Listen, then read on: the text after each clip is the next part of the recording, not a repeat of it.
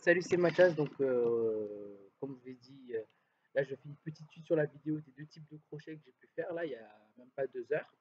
Donc, euh, ce que je vais vous démontrer là, c'est une vidéo d'un crochet durant un match de boxe. Parce que bien sûr, je suis pas boxeur, je suis karatéka à la base. Hein, J'aime bien le partage, le, transmettre de passion en passion. Ça, pour moi, c'est merveilleux. C'est quelque chose de merveilleux. C'est un art. C'est une capacité aussi à découvrir son corps que je trouve très bien dans les arts martiaux, dans les sports de combat, tout ça. Euh, donc, ce que je vais vous démontrer, c'est une vidéo d'un match de boxe. Donc, euh, bien sûr, ça va revenir sur un, un KO avec un crochet.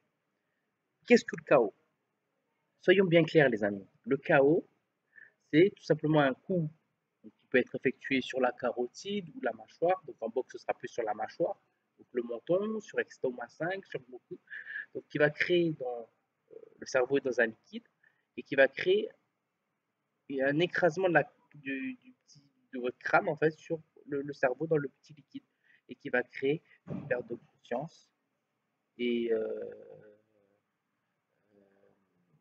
une perte de conscience et du coup c'est comme ça que, le chaos s'effectue.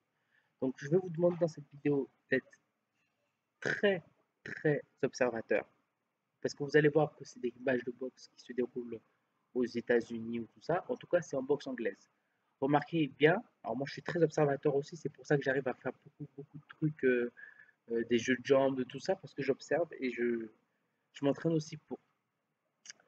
Euh, donc vous allez remarquer que le crochet ne va pas se donner comme ceci, mais comme ceci, pour enfin être plus solide au niveau des pecs et des dorsaux et être gainé au niveau des abdos pour pouvoir donner son crochet.